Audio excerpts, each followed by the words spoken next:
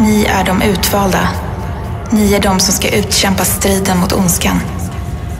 Den letar efter er. Den finns närmare än vad ni tror. Ni kan bara lita på varandra. Inte på era föräldrar eller syskon. Inte på vänner.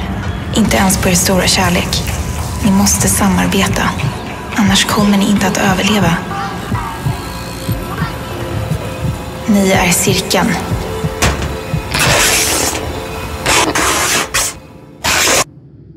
Striden har redan börjat.